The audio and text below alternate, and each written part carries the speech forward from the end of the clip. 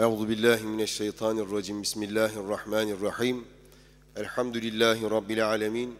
Essalatu vesselamu ala rasulina Muhammedin ve ala alihi ve sahbihi ecmaîn. Sallu ala rasulina Muhammed. Allahumme salli ala seyyidina. Sallu ala nebiyyina Muhammed. Allahumme salli ala seyyidina. Sallu ala tabibi kulubina Muhammed. Rabbi şrah li sadri ve yessir li emri vahlul ukdeten min lisani yefkahu kavli. Rabbi zidni ilmen ve fehmen. Bismillahirrahmanirrahim. Ve bihi nesta'in. Radiyallahu anna ve radiyallahu ankum. Eğer siz günah işlemeseydiniz diyor Yüce Rabbimiz bir hadisi kutsiyle sizleri yok ederdim. Yerinize günah işleyenlerini yaratırdım. Efendimiz haber veriyor bunu. Eğer siz günah işlemeseydiniz sizleri yok ederdim. Yerinize de günah işleyenlerini yaratırdım. Yani Allahü Teala bu sözüyle günah işleyenleri mi seviyor yani? Günahı mı seviyor? Yok. Allahü Teala günah işleyip de akabinde ölüm gelmeden tövbe edenleri seviyor. Acziyetini anlamış, eksiğini anlamış, affedecek olan makamı bilmiş ve günahının hemen akabinde af dileyen kullarını seviyor. Günah işlemeyen bir kavim var zaten. Melekler var. Onlar hiç günah işlemiyor. Allah ne derse onu yapıyorlar. Bizim gibi değil. Nefisleri yok. Allah hemen akabinde tövbe eden kullarını çok seviyor. Hatta başka bir hadis-i şerifte bir kimse günah işlese son günahın arkasından ya Rabbi sen benim Allah'ımsın ben günah işledim sen beni affet dese sonra bir daha günah işlese bir daha af dilese bir daha işlese bir daha af dilese hepsini affederim diyor Allah. Böyle merhamet sahibi bir Allah'ımız var. Bazı günahlar var hadis-i şeriflerde iki namaz arasında beş vakit namaz kılıyoruz ya iki namaz arasında işlenen küçük günahlar affolunuyor. Abdestle akıp gidiyor. Bazı günahlar var cumadan cumaya diyor affediliyor. Cuma'la iki cuma kılan iki cumanın arasında günahları affolunuyor. Başka hadis-i şerifte iki Ramazan arası böyle müjdeler var. Günahlar affolunuyor. Abdest aldığımızda böyle günahlarımız akıp gidiyor uzuvlarımızdan. İmam-ı Azam rahmetullahi aleyh may müsteamel denilen bir mesele var. Kullanılmış su demek. Yani abdestten artık arta kalan, abdest alırken akıp giden su. Buna kullanılmış su. Mai müsteamel denir. Bu fetvayı çalışırken ilk verdiği hüküm necaseti galiza. Yani ağır necaset demiş. Pis. O abdestten damlayan sular yok mu? Ağır necasettir demiş. Bir süre sonra bu fetvadan vazgeçmiş. Necaseti hafifeye dönmüş. Hatta bazı büyükler abdest alırken önlük takarlar. O su üstlerine gelmesin o su diye. Bu fetvadan dolayı. Bazı takva sahibi adamlar var öyle. Ben yapmadım hiç. Yapan arkadaşlarım da oldu yani. Demişler ki efendim neden böyle bir şey yapıyorsun? Bu fetvayı böyle verdin. Necaseti galiza dedin. Sonra da necaseti hafife dedin. Yani hem önce pis dedin, ağır pislik. Bir damlası bile idrar gibi bir şey dedin yani anlayın diye söylüyorum. Necaseti galiza ne demek? Kan gibi, idrar gibi. Sonra neden bunu değiştirdin? İmam-ı Azam fıkhın büyüğü olduğu gibi evliyanın da büyüklerinden yani. Ben bu fetvayı ilk çalışırken diyor yani bu işte tahkik yaparken Allahü Teala bana o abdest sularında akıp giden günahları gösterdi. O abdest akan su çok affedersiniz eşek ölüsü gibi kokuyordu. Çok kötü kokuyordu. Bir süre sonra Allah merhamet etti bize, size de yani bize hepimize, İmam-ı Azam'a değil. Bu keşfimi kapattı dedi benim. Ben duymadım o kokuyu bir daha. Sonradan o fetvayı dedi değiştirdim. Bu bir rahmet bize. İşte o akanan akan sulardan böyle günahlarımız akıp gidiyor. Ama Allah bir şeye karışmıyor. Her günahı affediyor. Öldükten sonra şirk hariç her günahı affedeceğini vaat ediyor. Kur'an'da ayet var. Hayattaysan şirki de affediyor. Hayattayken iman edersen putperesti de affediyor yani. Yahudi'yi de affediyor. Ama diyor ki ne olursa olsun diyor kul hakkına karışma. Bazı günahlar var tövbeye ihtiyacı yok. Anlattığım yerlerde iki namaz arasında, iki cuma arasında affolunuyor. Bazı günahlar tövbeye muhtaç, tövbeyle affolunuyor. Ama bazı işler var ki ben onlara karışmam diyor Allah'ımız. O da kul hakkıdır. Efendimiz Aleyhisselatü Vesselam cenaze önüne geldiğinde borçluysa cenaze namazını kıldırmıyordu. Borçluysa cenaze namaza tekbir almıyordu. Kim diyordu bunun yakını gelsin buraya? Bu İslami bir adettir.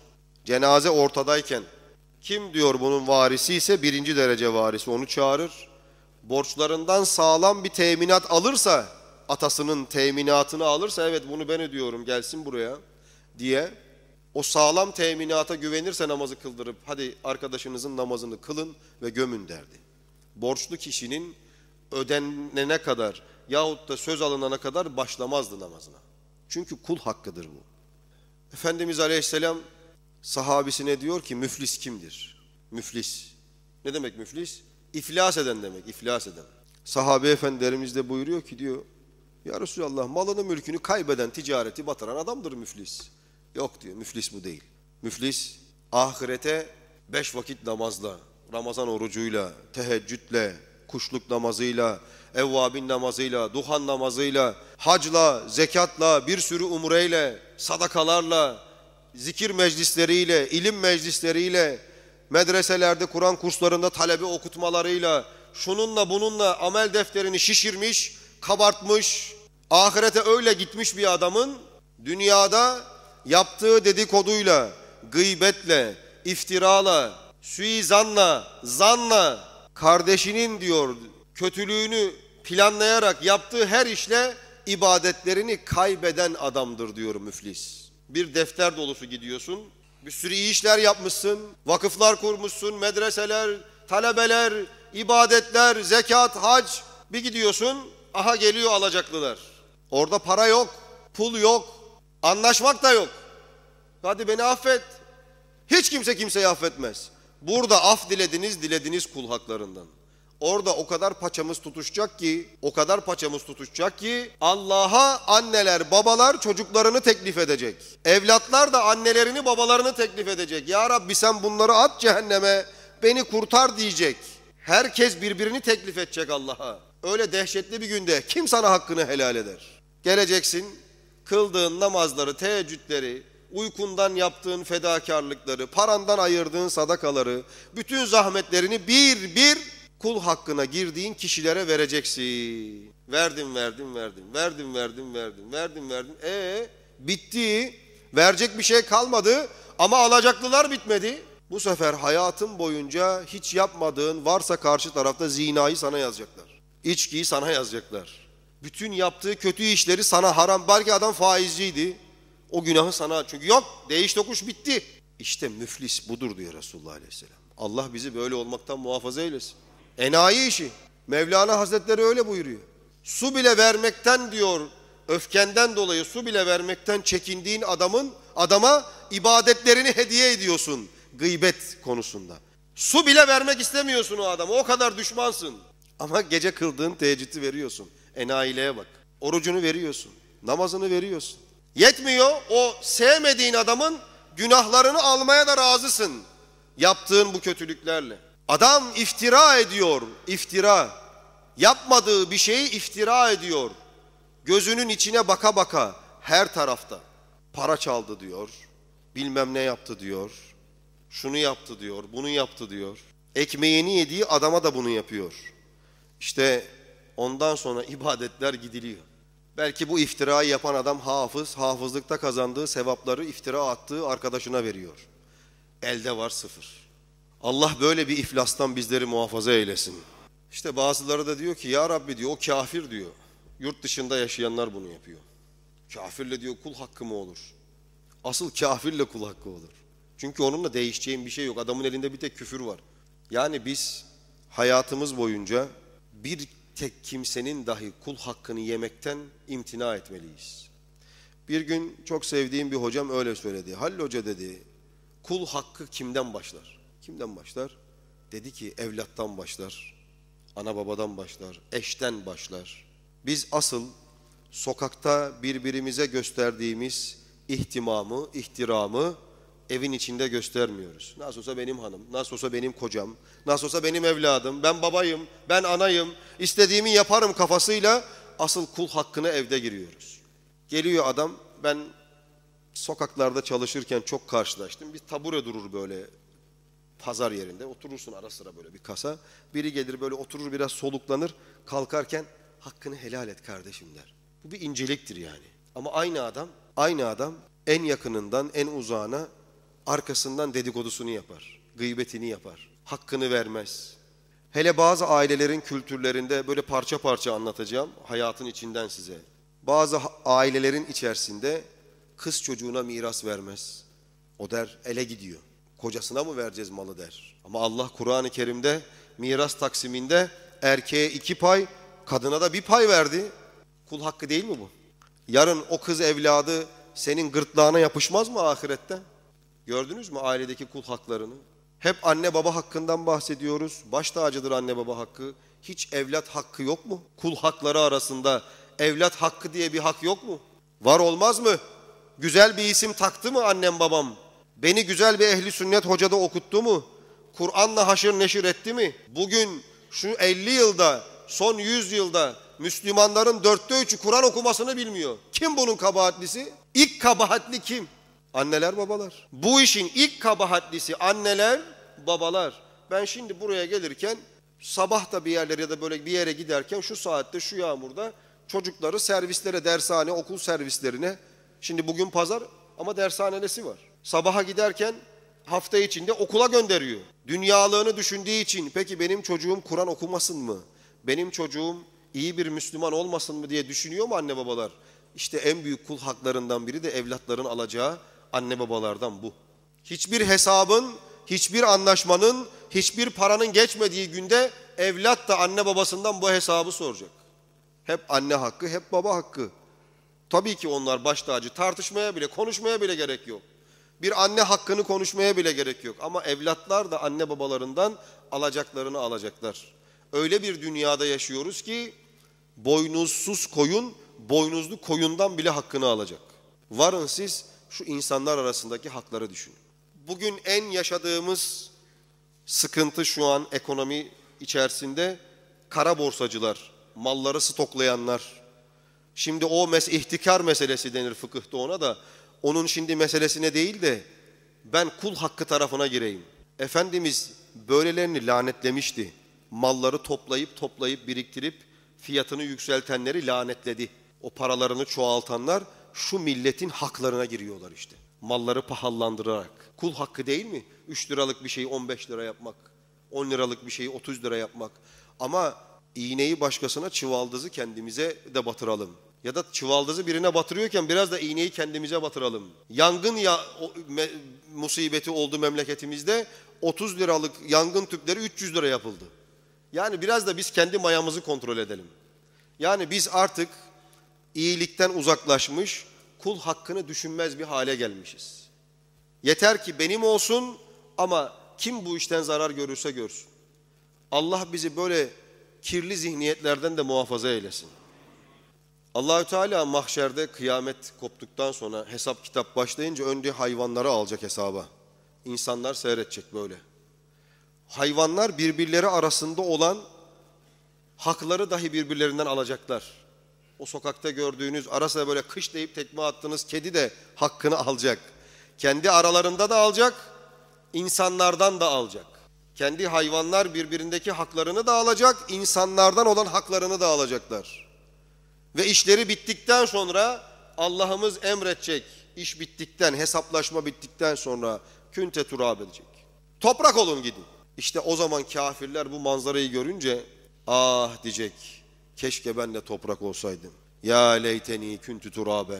Toprak olsaydım da bu hayvanlar gibi bir hesaba düşmeden yok olup gitseydim. Ahiretteki hesap tahmin ettiğimizden, aklımıza geldiğinden, hocalardan dinlediğimizden çok daha dehşetli. Biz Hazreti Ömer'in ayakkabısının altındaki toz olamazken öyle bir yüce isim bir gün böyle oturup rüzgarla böyle yuvarlanan bir çöpe bakıyor. Diyor ki keşke şu çöpün yerinde o dal parçasının yerinde ben olsaydım. Ömer bu ya Ömer. Hazreti Ömer'den bahsediyoruz ya. Keşke o kurumuş dal parçası ben olsaydım da Allah'a hesap için huzuruna çıkmasaydım. Biz ne diyeceğiz? Yarın orada haklar paylaştırılırken sırtımızdaki kul haklarıyla ne anlatacağız Allah'a? Neyimiz var ki vereceğiz? Gece namazımız mı var? Varsa da niye vereceğiz? O zaman burada bu işleri bitireceğiz. Helalleşeceğiz. Bir zarar mı verdik? Maddi. Onu gidip ona iade edeceğiz. Kardeşim ben sana bu zararı verdim. Al bunu. Beni de affet. Hakkını da helal et. Ben senin arkandan şöyle şöyle iftira attım. Şöyle şöyle hakaret ettim. Kusura bakma beni affet. Ha, bitmedi. O gidip benim hakkımda iftira ettiğin adama da kusura bakma ben bir namussuzluk ettim. O anlattığım kişi öyle değildi deyip sonra gidip o kişiden ben yıktığım çamları kaldırdım. Sen de hakkını helal et diyeceğiz. Burada helalleşmek kolay. Nefsimize ağır gelse de ahirette helalleşecek bir, bir vaktimiz olmayacak çünkü. Emin olun ki kimse size hakkını helal etmeyecek. Bize hakkını helal etmeyecek. Orada bakacak ki kimden ne alabilirim? Nasıl cennete gidebilirim? Ne kopartabilirim? Nasıl sıyırabilirim şu işten? Dehşetli bir gün bizi bekliyor beyler. Dehşetli bir gün. Hazreti Osman'ı sabaha kadar ağlatacak, yataklarından Ebu Derdaları kaldıracak, öyle dehşetli bir gün bekliyor. Bilmiyorum ben hiçbir zaman bunu anlatmama rağmen yatağımdan ahirette dehşetli bir gün bizi bekliyor diye uyanamadım. Allah beni affetsin. Ama o, o şahıslar, o zatlar, o isimler, o adam gibi adamlar gece yataklarından kalkıyorlardı. O yüzden gece ibadetleri kolaydı onlara. Çünkü yatak batıyordu. Yarın ahirette ne yapacağım ben diye. Bunlar peygamberin arkadaşları. Dilinden cennetle müjdelenmişler. Efendimiz Aleyhisselatü Vesselam savaş esnasında böyle bir okla orduyu düzenliyor böyle. Sen öne çık, sen geriye çık, sen şöyle yap, sen şöyle yap. Diye sahabinin bir tanesine şöyle sen ileri çık dediğinde sırtına yaptığında bir feryat ediyor böyle. Bir feryat ediyor. Ne oldu? Canımı acıttın ya Resulallah diyor. İyi kusura bakma. Cık, kusura bakma yok. Kısas yapacağız. Şeriatta kısas var. Kısasa kısas. Ben de sana vuracağım diyor. Sahabilerin aklı çıkıyor yanından. Düşünebiliyor musunuz yani? Bunu söyleyen de bir sahabi tabii. İsmini unuttum ben. Bu mesele iki yerde anlatılıyor. Bir sohbet meclisinde oluyor böyle bir mesele. Bir de böyle savaşta oluyor. Meşhuru budur. Değil galiba ya. Bilmiyorum. Bilmiyorum. Yani bir şey değil ama sanki o değil gibime geldi. Bilmiyorum. Sahabi hatta bazıları kılıcı çekiyor. Sen Resulullah'a vuracaksın mı diye yani. Efendimiz diyor ki durun. Sakin olun. Kul hakkı. Tamam vur diyor hadi sen de. Ya Resulallah benim etim çıplaktı sen bana vurduğunda diyor. Sahabi hakikaten artık yani alacak yani. Onu indirecek aşağı. Yani hangi sahabi dayanabilir gözünün önünde biri gelsin Resulullah Aleyhisselam böyle vursun onlar da böyle baksın. Peki diyor sırtını açıyor Resulullah Aleyhisselam. Böyle şimşek hızıyla geliyor sırtındaki mührü öpüyor. O sahabi akıllı adam. Vurur mu peygambere? Ama diyor kısas var ben de kısas yapacağım. E niye böyle bir şey yaptın? Az daha canından olacaktı adam. Az daha bir sahabi belki kontrolü kaybedecekti oradaki büyükler. Kılıcın ucuyla şöyle hop diyecekti boynunu ayrı verecekti. Bunu bile göze almış. Ben duydum ki ya Resulallah bu senin nübüvvet mührünü öpeni cehennem yakmazmış. Onun için yaptım. Şimdi burada sahabinin yaptığı hassasiyet, incelik, muhabbet ama bakın koskoca peygamber olmasına rağmen kısasa razı olan, peki sen de bana vur diyebilen, ben peygamberim ya deyip de işin içinden çıkabilirdi öyle değil mi? Kul hakkı. O kadar hassas ki peygamber aleyhisselam bile gözünü kırpmadan gel uygula kısasını diyebilecek kadar önemli. O yüzden kul haklarını iade edin. Kul hakkı sırtınızda bırakmayın. Kiminle bir helalleşmek zorunda olduğunuz iş varsa gidin korkmayın helalleşin. Eğer canınıza bir şey olmayacaksa bu helalleşmede, hayatınıza bir zarar gelmeyecekse bu da bir ölçüdür. Gidin korkmadan elinizi uzatın, helallik isteyin. Verdiğiniz zararı tazmin edin ve ondan helallik isteyin. Ahirete Allah bizi kul hakkıyla gitmekten muhafaza eylesin. Bize burada bu işleri halledecek, düzeltecek, helalleşecek imkanlar nasip eylesin. Maddi manevi, maddi manevi. Şimdi tabii ödeyemeden gidenler olacak. Allahü Teala'nın sevdiği bazı kullardansak eğer Allah bizi onlardan eylesin ama böyle bir garantimiz yok. Ben şimdi size bunu anlatacağım ama Allah da ahirette bu işi nasıl olsa denkleyecekmiş gibi kimse rehavete kapılmasın. Bazı kaynaklarda geçer. Biz ama gene de burada ödemiş olmayı hayal edelim, dua edelim.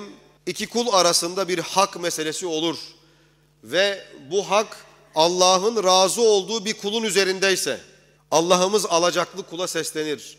Böyle cennetten yerler gösterir. Büyük büyük. Cennet deyince aklınıza böyle bahçe, bostan gelmesin yani. Adı bahçedir ama aklımızın alamayacağı bir şey. O kişi der ki, e, Allah'ımız o kişiye der ki bunlar kimin biliyor musun der. Belki bir peygamberindir hani öyle muazzam yerler. Yok der. Eğer sen falanca kuluma alacak olduğun hakkını helal edersen buraları sana vereceğim der. Başka bir rivayette de sen falanca kuluma hakkını helal edersen senin falanca yıllık namazını affedeceğim der. Yani Allahü Teala kul hakkına karışmıyor da kefil olup onu razı etmek için teklifte bulunuyor ona. O da hayrını murad ettiği kullar için, benim için değil belki yani. Sizin için öyledir de benim için değil yani. Bunu bilmemize rağmen bu rehavete kapılmadan ama öyle sevgili kul olma hayaliyle, gayretiyle yaşatsın Allah bizi. Anne baba haklarımıza dikkat edelim. Eş, çoluk, çocuk haklarımıza dikkat edelim. Komşu haklarımıza dikkat edelim. Hiç tanımadığımız insanların haklarına daha çok dikkat edelim. Yani helalleşemeyeceğimiz, hakkını yediğinden bile haberi olmayan, o kadar incedir ki İslam hukukunda bu işler, kaldırıma park ettiğiniz arabanın bile hesabını soracak Allah. Bize soracak yani, ben de park ediyorsam bana da soracak, hepimize soracak. Çünkü o park yaptığın yer vatandaş için yapılmış. Hatta ceza hukukunda bunu misal vermişti hocam. O araba oraya park edildiğinde insanlar yürüyemeyip şöyle caddeden dönmek zorunda kalsa o araba o şahsa da bir araba çarpsa ya da ölse o arabayı park eden ceza alır. Yandık yine yandık. Yandık yine yandık. Neden yandık? Çünkü bunları bilmeden yaşıyoruz. Bunları bize unutturdular. Bu hassasiyetleri unutturdular. Biz öyle bir ecdadın torunlarıyız ki, öyle bir ecdadın nesilleriyiz ki şu an gelip bizi görseler utanırlar bizden. Rahmetlik Timurtaş Hoca'nın dediğini ben kulaklarımda hiç unutmuyorum. Fatih bugün mezarından kalkıp başını kaldırsa, şöyle etrafına baksa, şu İstanbul'u Bizans bir daha mı geri aldı der diyor. 80'li 90'lı yılları söylüyor Timurtaş Hoca. Allah rahmet eylesin. Şu an şu toprakları Efendimizin ismini şöhret etmek, zulmü durdurmak, Allah'ın adını arşa çıkartmak için savaşan ecdadın torunlarına bir bak. Kur'an'dan bir habersiz, ehli sünnetten bir habersiz, kul haklarından habersiz, helalden haramdan habersiz. Hemen gidin bilmiyorum belki başlamıştır bir inin emin önüne bakalım kuyrukta kimler var. O ecdadın torunları var işte. Ya Şimdi konumuz o değil ama herhalde ben yılbaşına kadar bir daha denk gelmeyeceğim. Anlatmadan duramıyorum yani. Böyle camiden çıkıp o kuyruğa giden, nöbetleşe namaza giden adamlar biliyoruz orada yani. Başı kapalı ablalar var o kuyrukta. Biliyorsunuz değil mi? Su kuyruğu değil yani o ha. Ekmek kuyruğu da değil. Bak daha mı uzak orası? Bunlara sor hepsi ben Müslümanım diyor. O kuyruktakilere tek tek sor.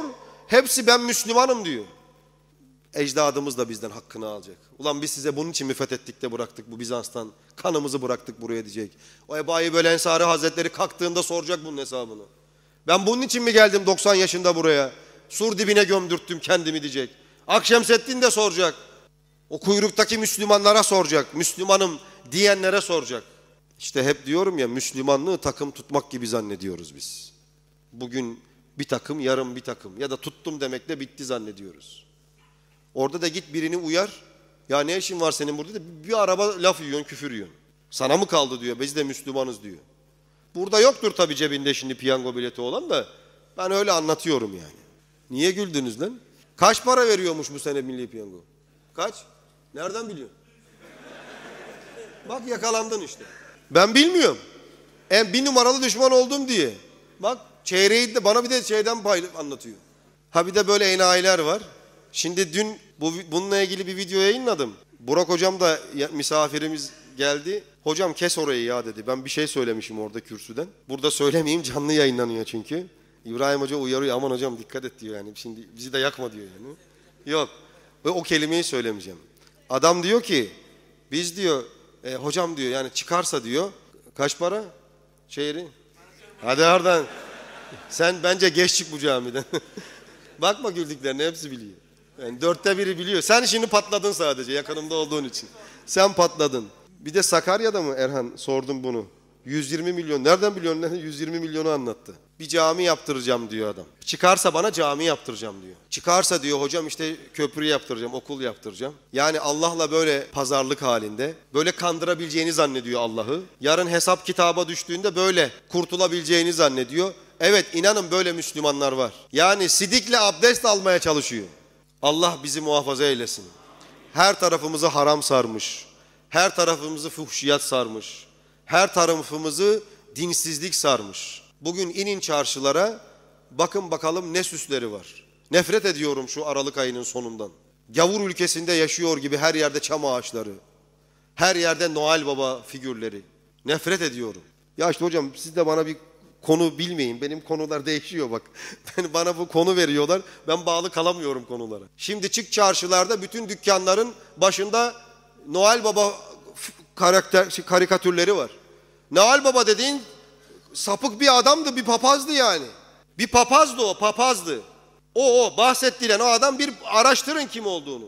Çam ağacının manasını bir araştırın. Hristiyanların inanışında İsa diyor gelecek. Ona biz de inanıyoruz ehli sünnet olarak. Hazreti İsa gelecek ama böyle değil. Peygamberimizin halifesi gibi gelecek. Peygamber olarak değil. O bir başka müstakil konu. Hristiyanlar diyor ki İsa gökten inecek bir çam ağacının üzerine inecek. Bizim evdekine insin diye çam ağacı koyuyorlar bu dönem. Doğduğu gün gelecek diye. Bizim Müslümanlar ne diye koyuyor acaba? Süslüyor bir de çocuklarıyla. Git şimdi o Müslümanların mütedeyyin kesimlerin evlerine git. Evlerinde süs yoksa birçoğunun ben adam değilim. Ben evimin balkonundan görüyorum karşıdaki evlerden, apartmanlardan. Müslüman evlerini görüyorum. Paylaşıyorlar, ediyorlar. Bir tanesi diyor ki ben diyor beş tane aldım bilet diyor. Camiden abi bunlar. Ben çok sayısal loto kuyruğunda sakallı hacı abi biliyorum. Allah bizi ıslah eylesin. Allah bizi düzeltsin.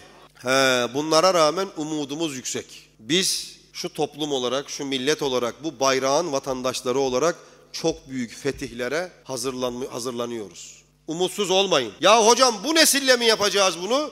Resulullah Aleyhisselam da İstanbul'un fethedileceğini, Bizans'ın yıkılacağını, Kisra saraylarının yıkılacağını haber verdiğinde karnına taş bağlıyorlardı sahabiler.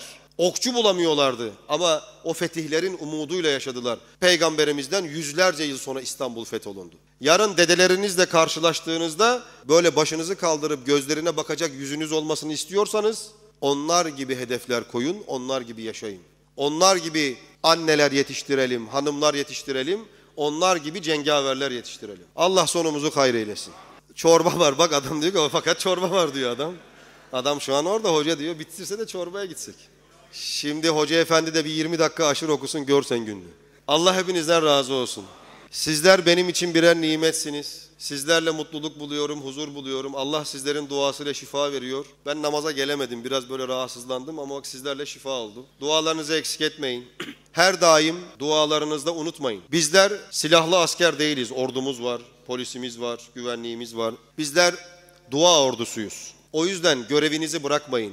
Her gün Allah ordumuza, polisimize, jandarmamıza, istihbarat teşkilatımıza, tüm güvenlik birimlerimize muhafaza ve muzaffer eylemesi için dua eyleyin. Allah bütün geçmişlerimize rahmet eylesin. Ölmüşlerimizi kabirlerinde nur eylesin.